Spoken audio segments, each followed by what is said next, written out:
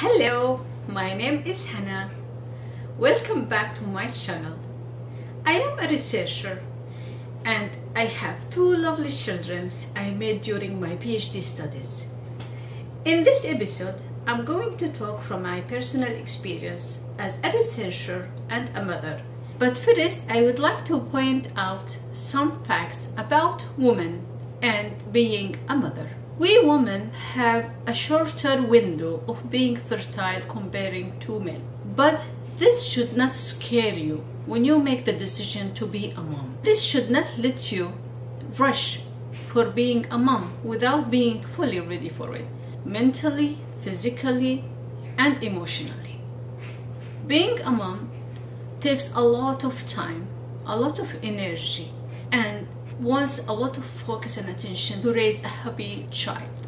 So it's very important if you are a mom or if you became a mom that does not kill your dream. You are still a dreamer and you can make all things you are planning for. Even if you are a mom and you are very busy with taking and raising children, that should not stop you from being a good researcher and pursuing your studies. However, when you decided to become a mother, you should accept all the consequences of being a mother, including the time that you allocate for the development of your research career.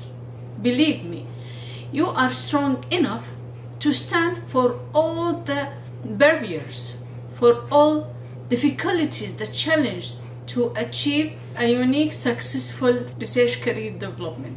You just need to focus on yourself and your main goal and priorities in every step in your life while you are in a healthy environment taking care of your children. Another important fact what makes most of women can achieve a lot is being a good planner. Being a mom itself is a demanding career. Being a mom is a full job that is demanding from you a lot of energy, including physical and mental.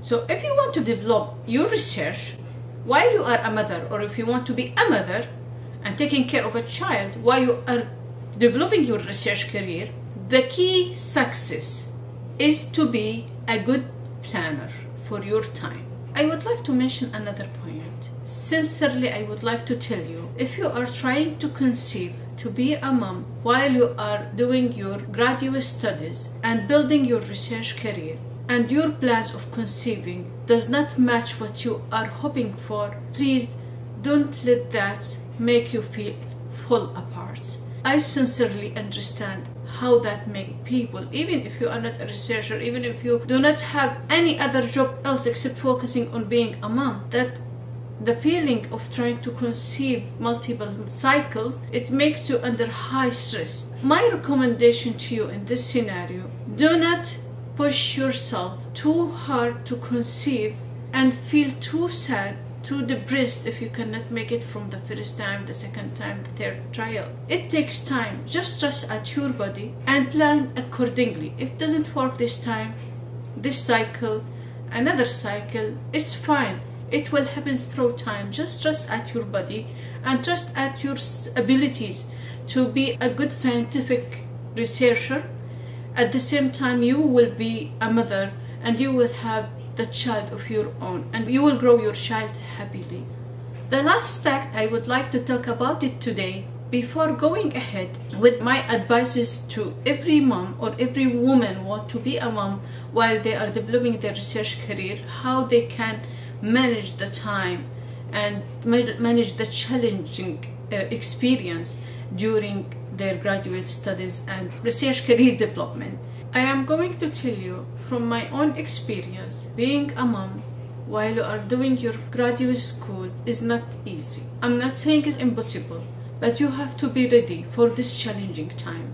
Don't quit by having your child. You can have a maternity leave, you can pause a little bit your studies, but don't give up your research career development or any of your dreams because you just have a child and you felt in a moment overwhelmed with all these hormonal changes and being stressed to manage time and taking care of a child that make you give up your career. It's okay, you can pause, you can wait a little bit until you overcome the challenging time and adopt having a child. You need the time for adjustment, take it, but don't give up. Yes, the fact it will not be easy, but also it will be very joyful at the very end and you will find yourself you had the grasp of it your nature as a, a hardworking person committed to their own task being on time it will be back soon because you need just the time to adjust for it. And when you adjust for it you will enjoy it and you will know when you wake up when you test your child when you help yourself when you feed yourself when you feed your child when you go to work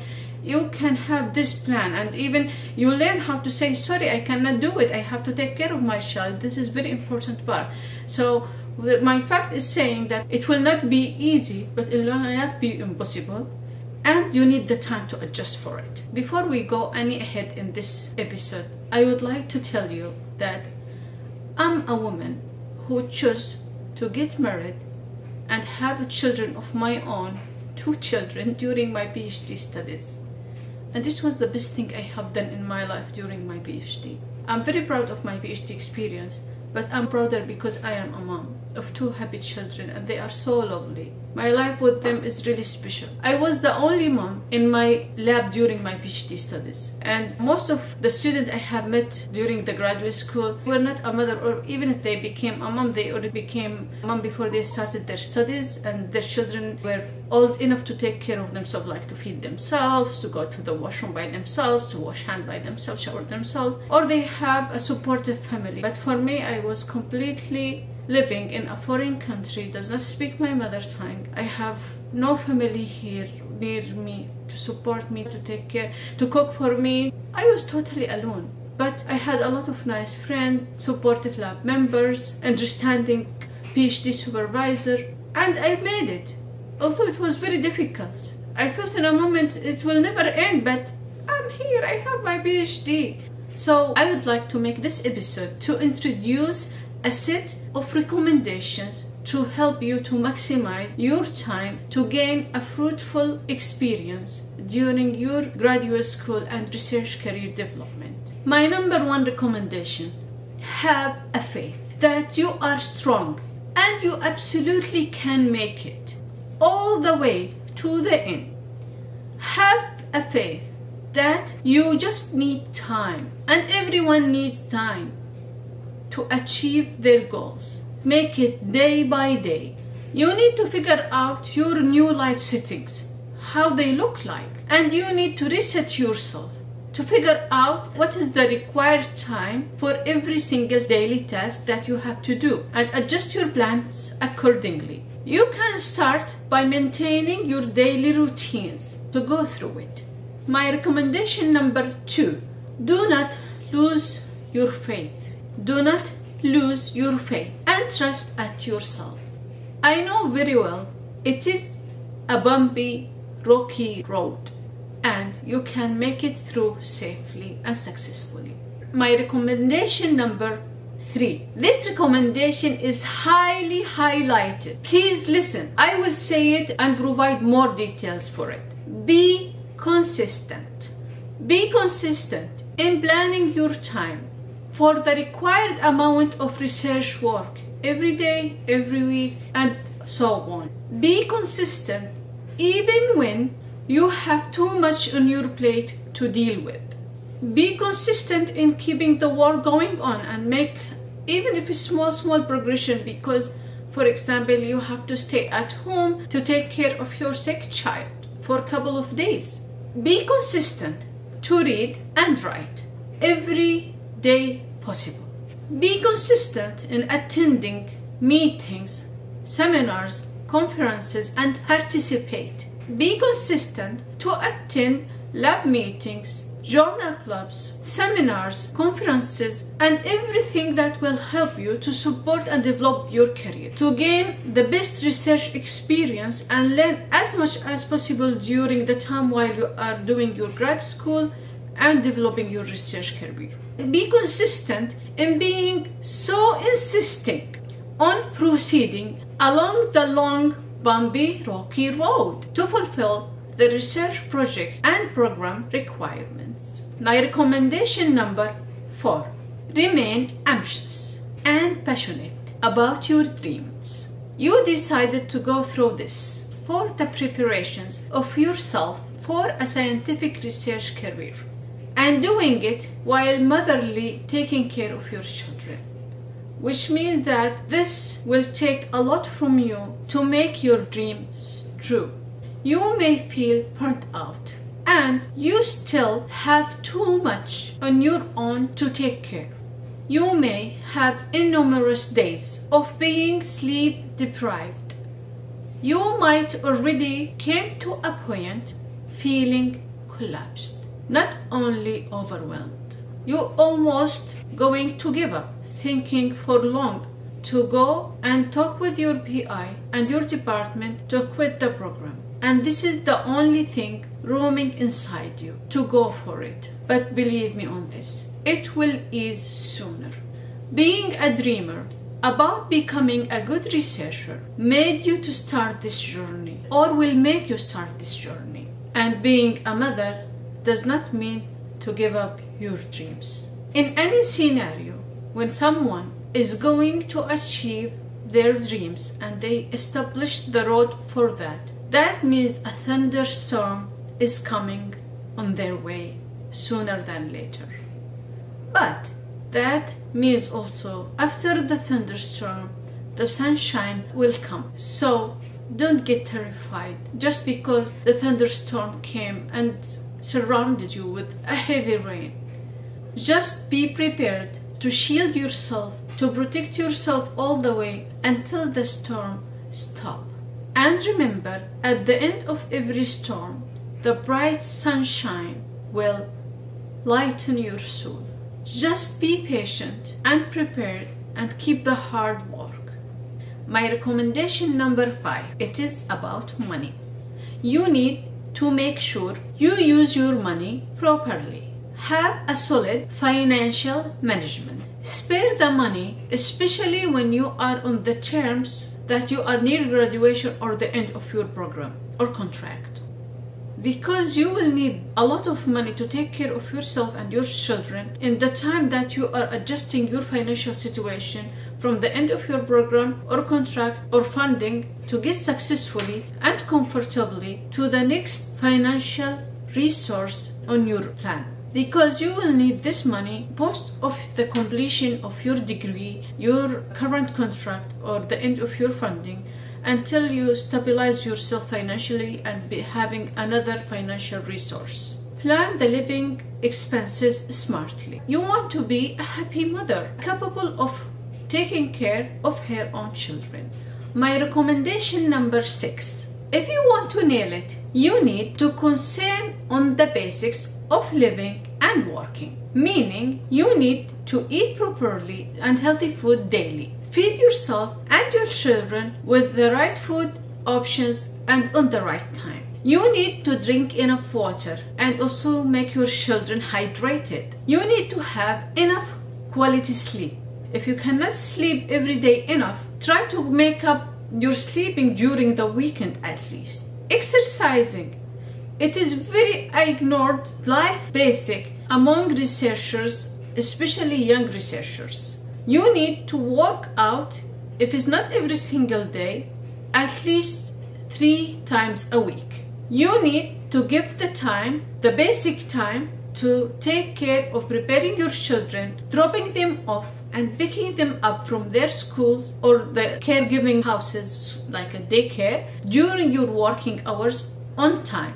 Don't be late on your children. Don't destroy their routine since this young age. You need to make sure this basic need is done properly. One of the very important basics of work that to go to work every day, every working day while you are a researcher on a full working contract. Have the time slot of your family. Have the time slots daily allocated for the family time and only family time. My recommendation number seven. It may look silly to highlight this recommendation, but I believe it's very essential. I believe it deserves to say it. It is about the daily basic transportation to drop off and pick up your children and to go to your work. This its own takes a lot of time and energy from you every single day. Plus the money you spend on it. So you need to plan it well.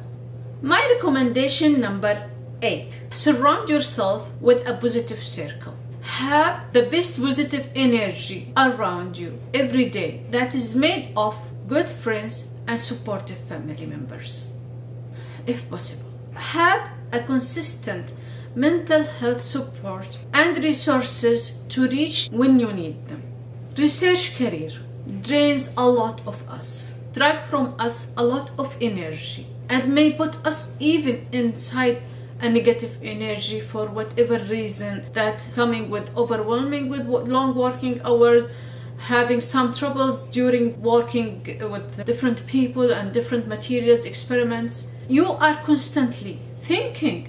Your brain is burned your brain is busy with having all these thinking and analysis. Research career requires from you a lot of brain work which makes you not sometimes even feeling how dragging from you. You work your brain faculties to achieve your daily research tasks. And on top of that being a mother for young children especially drains you with making thousands of tasks and making decisions daily.